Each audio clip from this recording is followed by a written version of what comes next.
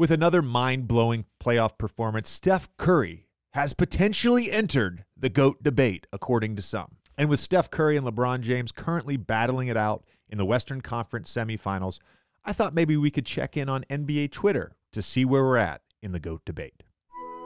Most all NBA selections, most finals MVPs, most all NBA first team selections, highest career scoring average, most playoff win shares, most first team all defensive selections, most steals in the playoffs, most scoring championships, most points scored all time. Uh, McDonald's, most points scored in the playoffs. Gatorade, most playoff games won. Home Alone? You know, I was, I was in the cardboard cutout. Best value over replacement player in the regular season.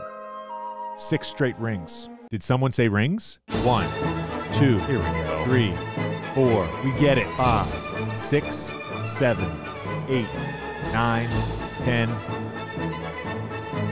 eleven. One hundred points in a game. Meet me in Temecula. Most playoff game-winning buzzer beaters. Now, y'all know you can't get a bucket without an assist. This is very Ted Lasso.